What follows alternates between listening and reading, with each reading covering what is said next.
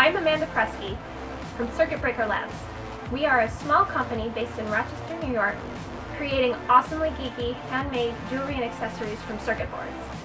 We started over a decade ago and have been searching for and collecting circuit boards to create a wide array of fun products like necklaces, bracelets, earrings, tie bars, belt buckles, and even bottle openers. We love finding particularly interesting circuit boards with wacky colors and components. The first thing you'll notice about a circuit board is its color, which is called solder mask. We've found circuit boards in a rainbow of colors, but that rainbow is incomplete, which is where you come in.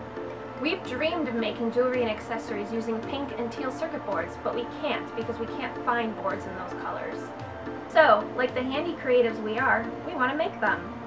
We've been in touch with a circuit board designer to help us create a jewelry-friendly board, as well as several US-based PCB manufacturers. With your funding support, we'll be able to have circuit boards made to our colorful specifications so that you can let your geek flag fly wearing Circuit Breaker Labs.